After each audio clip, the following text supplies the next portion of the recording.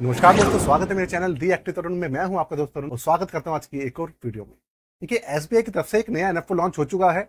16 अक्टूबर से ये NFO already चल चुका है। आज मैं आपके सामने इसका पूरा का पूरा रिव्यू लेके हाजिर हुआ हूँ। एनएफओ क्यों अपने आप में खास है? क्या आपको इसके अंदर इन्वेस्ट करना चाहिए? और अगर आप सोच रहे हैं तो इस रिव्यू के बाद आपका एक एक क्वेश्चन का आपको आंसर मिलने वाला है। साथ में ये कितने आपको रिटर्न देने वाला है, ये भी आपको विद प्रूफ में बताने वाला हूँ। और आपको एग्जैक्ट बताऊँगा कि कितने रिटर्न आपको मिलेंगे। वीडियो को छोड़ के मत जाइएगा बस। तो ठीक है दोस्तों तो शुरू करते हैं आज की वीडियो को। देखिए, जो एनएफओ है, उसका नाम है SBI Nifty India consumption index fund आपको याद होगा, अभी पिछले महीने Axis consumption fund Axis mutual fund house की तरफ़ से लॉन्च हुआ था और उसने ना, उसका प्रदर्शन भी काफ़ी अच्छा है और उसके अंदर लोगों ने रिस्पॉन्स भी काफ़ी अच्छा दिखाया था। लेकिन इसके खास बात क्या है? ये एक निफ्टी इंडेक्स फंड है मतलब ये इंडेक्स के बराबर रिटर्न देने वाला है। इसके अंदर किसी भी तरीके का जो फंड मैनेजर होता है, उसका किसी भी तरीके की इन्फ्लुएंस नहीं रहेगा, उसका जो फंड मैनेजर है, उसका रोल नहीं रहेगा इसके अंदर बिल्कुल भी, क्योंकि इंडेक्स फंड है। तो जो रिटर्न इंडेक्स देगा वो ही सेम टू सेम आपका ये फंड देने वाला है। और एस की तरफ़ से आता है तो लोगों का विश्वास तो इसके साथ जुड़ा ही रहेगा। अब बात करें भैया इसके एनएवी की, ये लॉन्च हो चुका है, अब एनएफओ इसको ओपन है तो एनएवी जो मिलने वाला है, वो मिलेगा आपको दस रुपए अलॉटमेंट प्राइस पर। अगर आप 16 अक्टूबर से 25 अक्टूबर के बीच में अप्लाई करते हैं, तभी आपको दस रुपए मिलेगा नहीं तो आपको, ये जो 25 अक्टूबर के बाद जो इसके रेट बढ़ चुके होंगे, उसके ऊपर आपको मिलने वाला है। दूसरी बात ओपनिंग डेट इसकी 16 अक्टूबर ऑलरेडी निकल चुकी है, आज है 20 अक्टूबर, और अब बचे हैं सिर्फ़ और सिर्फ़ छह दिन इसके अंदर इन्वेस्ट करने के लिए। बीस, इक्कीस, बाईस, तेईस, चौबीस, पच्चीस, बस। छह दिन आप तक आप इसके अंदर इन्वेस्ट कर सकते हैं। इन्वेस्ट करने के लिए आपको क्या करना होगा, आपके पास डीमेट अकाउंट होगा। अगर डीमेट अकाउंट नहीं है तो डिस्क्रिप्शन में लिंक दिया हुआ है एंजल वन का, उसे आप खोल सकते हैं। वो भी बहुत ही अच्छा अकाउंट है। तो आपका जो डीमेट अकाउंट है, उसके अंदर एनएफओ का सेक्शन होता है अलग से म्यूचुअल फंड के अंदर एनएफओ का सेक्शन होता है, उसमें जाकर ये आपको शो हो रहा होगा। तो आप वहाँ पर जाकर क्लिक करेंगे तो बाय नाउ का ऑप्शन होगा इन्वेस्ट नाउ का ऑप्शन होगा, आप कर सकते हैं।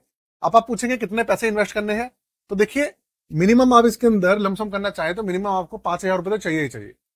पाँच हज़ार रुपये दस हज़ार रुपए, बीस, तीस हज़ार, जितना चाहे आप इसके अंदर लमसम कर सकते हैं। एसआईपी के लिए पाँच सौ रुपये मिनिमम है।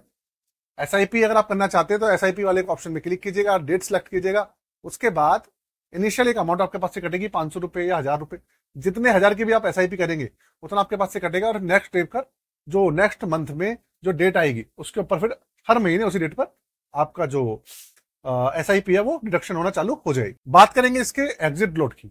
तो देखिए, सबसे पहली बात, ये एक ओपन एंडेड फंड है। आप इसमें कभी भी एंट्री कर सकते हैं, कभी भी एग्जिट करें। किसी भी तरीके की रोक टोक उस तरीके से नहीं है। बस आपको एक चार्ज देना होगा। अगर आप एग्जिट करते हैं तो 0.25 परसेंट वो भी आपका दो तीन महीने के लिए होगा स्टार्टिंग में। उसके बाद वो बिल्कुल फ्री होने वाला है। 0.25 परसेंट है तो मेरे ख्याल से महीना भर के लिए होगा, मुश्किल मुश्किल है। उसके बाद जो इसका एक्सपेंसिव जो एग्जिट लोड रहने वाला है, वो ज़ीरो परसेंट रहने वाला है। अगर आप कोई भी मेरा भाई बात मुझसे पूछे कि भैया इसका एक्सपेंसिव रेशियो कितना होने वाला है तो देखो, मैं आपको 80 परसेंट में श्योर हूँ, इसका जो एक्सपेंसिव रेशियो है, वो 0.30 परसेंट के नीचे रहेगा। 0.30 परसेंट के नीचे रहेगा, इससे ज़्यादा नहीं रहेगा, क्योंकि इंडेक्स फंड है। इसलिए। अब मैंने देखिए, इतना तो आपको पूरा का पूरा जो वृतांत, इसका वृतांत था, वो बता दिया है, जो कि आपको इन्वेस्ट करने के लिए सबसे ज़्यादा ज़रूरी थी। लेकिन अब सबसे ज़रूरी सेक्शन जो है, उससे ज़्यादा ज़रूरी, वो ये है कि इसका इंडेक्स क्या है, इसकी पास्ट परफॉर्मेंस जो थी इंडेक्स की, वो कैसी है, या कोई दूसरा फंड था, उसकी कैसी परफॉर्मेंस रही और आने वाले समय में इस फंड के अंदर आपको इन्वेस्ट करके फ़ायदा होगा या नहीं होगा। तो चलिए उसकी बात करते हैं। सबसे पहली बात, मैं जो रेफरेंस ले रहा हूँ, वो ले रहा हूँ एसबीआई इकाई एक दूसरा कंजप्शन फंड है। एक्चुअल में कंजप्शन फंड नहीं है, वो ईटीएफ है। आपको नाम बताता हूँ, उसका नाम क्या है। एसबीआई की तरफ़ से ना ऑलरेडी इनका ईटीएफ चल रहा है, जिसका नाम है एसबीआई निफ्टी कंजप्शन ईटीएफ मतलब ये जो आपका म्यूचुअल फंड इन्होंने लॉन्च किया है ना इसका ईटीएफ ऑलरेडी दो तीन साल से चल रहा है। 2021 में लॉन्च हुआ था और जुलाई 2021 में लॉन्च हुआ था और तब से आज तक। इसने पता है कितने रिटर्न निकाल के दिए बाईस पॉइंट चौतीस परसेंट के रिटर्न निकाल के दिए हैं इसके, जो बाईस पॉइंट चौतीस परसेंट के, जो इसका ईटीएफ चल रहा है। मतलब देखिए, जो ईटीएफ है सेम टू सेम मैं बिल्कुल नहीं तो ये तो नहीं कहूँगा कि सेम टू सेम स्टॉक्स होंगे, लेकिन काफ़ी हद तक स्टॉक्स ना 80 परसेंट स्टॉक मैच होंगे। तो उसने दिया है करीबन करीबन बाईस पॉइंट चौतीस, बाईस परसेंट मान लीजिए रिटर्न दिया आपको। तो अगर मान लीजिए एक परसेंट कम भी रिटर्न हो गया तो भी आपको आराम से बीस, इक्कीस परसेंट रिटर्न तो ये दे ही देगा निकाल के। पक्की बात है। एक्सपेंस रेशियो भी कुछ ज़्यादा नहीं है zero point three zero percent से कम रहने हैं। एक्सिट लोड भी ना के बराबर है। तो उस तरीके से कोई प्रॉब्लम आने वाली आपको है नहीं। अगर आप मुझसे पूछेंगे कि भैया इसके अंदर स्टॉक्स कौन कौन से हैं? तो देखिए, मैं आपको स्टॉक्स के बारे में भी बता देता हूँ। जिससे कि आपकी जो पूरी, जो आपका क्वेश्चन है, उसका सोल्यूशन हो जाए। कंजप्शन कौन कौन से है? सबसे पहले आप समझ लीजिए कंजप्शन है क्या। ऐसी कंजप्शन का मतलब ये नहीं है जो खाने पीने की चीज़ें होती है, उसी के कंजप्शन की बात हो रही है। ऐसा बिल्कुल नहीं है। कंजप्शन का मतलब है, आप किसी भी चीज़ का अगर उपयोग कर रहे हैं, उसे कंज्यूम कर रहे हैं तो हमारा वो कंजप्शन सेक्टर में आता है। जैसे आपको कंपनी इसका मैं एग्जांपल देके बताता हूँ। आईटीसी कंज्यूमर स्टेपल सेक्टर की कंपनी है। क्या बनाती है आपको पता है? वो भी एक इसका स्टॉक है। कंजप्शन सेक्टर कंपनी है आगे चलते हैं भारतीय एयरटेल अब आप पूछेंगे, भैया भारतीय एयरटेल जो है, वो तो कंजम्पशन बेस्ड कंपनी है नहीं।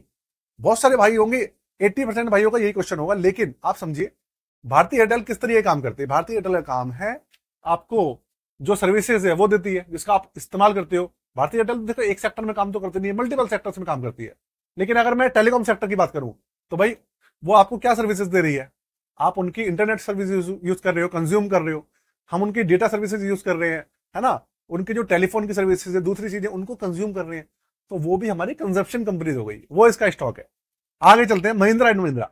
अब आप कहेंगे, भाई, ये तो एक, ये तो गाड़ियाँ बनाती है। तो भाई, गाड़ियाँ बनाती है तो उनकी जब प्रोडक्ट हम खरीदते हैं, वो भी तो हम कंज्यूम ही करते हैं ना। तो ये भी इसका एक स्टॉक है। आगे हिंदुस्तान लीवर ठीक है? Maruti Suzuki Zomato Trent Titan Asian paint Bajaj Auto Nestle InterGlobe Aviation Tata Power Tata Consumer Avenue Supermart Britannia Hero MotoCorp तो देखिए, ये सारे के सारे जितने भी बड़े ब्रांड्स हैं, ये सारे के सारे इस, क्या कहते हैं, जो म्यूचुअल फंड है, इसके अंदर आपको मिलने वाले हैं। अपने आप में जितने भी मैंने स्टॉक्स का नाम लिया, वो अपने आप में एक ब्रांड है ब्रांड ना सिर्फ़ इंडिया में, बाहर के देशों में भी इनका नाम चलता है। जितने भी मैंने कंपनीज़ के नाम लिए।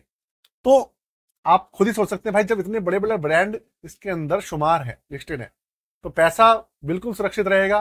रिटर्न्स मैंने आपको बताई दी रेफरेंस दे दिया है कि पिछले दो तीन साल में, तीन साल में इसने इतने परसेंट का रिटर्न दिया है। तो मैं कह रहा हूँ, आपको बीस परसेंट का तो मिनिमम रिटर्न देगा ये। बुरी कंडीशन भी है। अगर कम रिटर्न भी दे रहा है तो भी बीस परसेंट का रिटर्न दे देगा यार, क्या बुराई है? बीस नहीं देगा, उन्नीस दे देगा, क्या ही बुराई है? क्योंकि एफडी से तो अच्छा ही है ना, छह परसेंट रिटर्न मिलते हैं एफडी के अंदर। उससे तो करीबन ढाई तीन गुना ज़्यादा ही है ना। मैं कह रहा हूँ, बहुत ही बुरी कंडीशन आती है, बहुत ही ये जो फंड है, बिल्कुल बेकार परफॉर्म कर रहा है। तो भी भाई पंद्रह परसेंट का रिटर्न देगा, तेरह देगा, चौदह देगा, कुछ तो देगा, लेकिन आपको रिटर्न ज़्यादा मिलेंगे। एक्चुअल में जो इसके रिटर्न है, वो रहने आपके बीस परसेंट के आसपास ही है। लेकिन मैं एक बुरी से बुरी कंडीशन की बात कर रहा हूँ, जब मार्केट बिल्कुल नीचे जाती है, जब सब कुछ डाउन होता है, तब भी ये कंजप्शन सेक्टर जो होता है ना, ये आपका पॉजिटिव में आता है। क्योंकि ये ऐसी चीज़ें हैं जो कि हमेशा ना कंज्यूम होती रहती है। तो इसलिए ना सेक्टर से जल्दी गिरता नहीं है। ठीक है? और सबसे बड़ी खास बात ये, एक ये सेक्टर बेस्ड फंड नहीं है। इसके अंदर आप कंपनीज़ देखें, कोई आईटी की कंपनी है, कोई आपकी कंज्यूमर स्टेपल्स की कंपनी है, कोई आपकी ऑटो सेक्टर की कंपनी है, कोई टेलीकॉम सेक्टर की कंपनी है। तो मल्टीपल सेक्टर्स है इसके अंदर मल्टीपल कंपनीज़ है, और सारे के सारे ब्रांड्स है। तो ये मत समझिएगा sector wise company sector wise ये आपका फंड है, ये आपका मल्टीपल सेक्टर्स के अंदर इन्वेस्टमेंट है। तो पैसा जल्दी हिलेगा नहीं, एक आध सेक्टर डूब भी जाता है ना, नीचे बर्बाद भी हो रहा है तो भी दूसरे सेक्टर्स को संभाल लेगा। तो दोस्तों, इस तरीके का इसके अंदर आपको रिटर्न मिलने वाले हैं। अब आप बताइएगा कि आपको वीडियो कैसे लगी। साथ में जितने भी मेरे भाई हैं, जिनको पोर्टफोलियो बनाना नहीं आता है, नए हैं, अपना पोर्ट अच्छा फंड बनाना चाहते हैं वो।